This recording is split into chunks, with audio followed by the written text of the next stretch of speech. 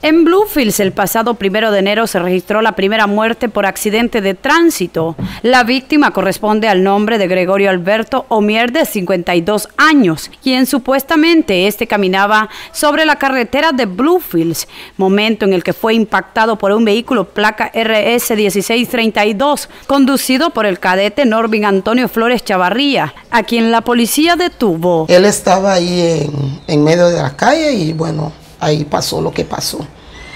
Pero bueno, el muchacho, vos sabés, la policía lo tiene ahí, pero él, él va a asumir, él va a asumir a su problema.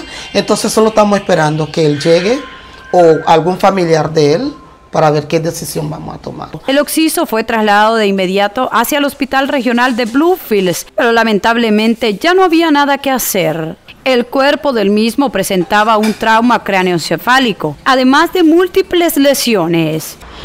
Bueno, antes él tomaba bastante, pero tenía un buen tiempo que no tomaba, pero últimamente estaba fuera de control.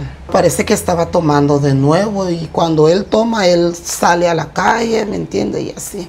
La policía de tránsito realizó las investigaciones correspondientes para dar con la responsabilidad de este caso lamentable.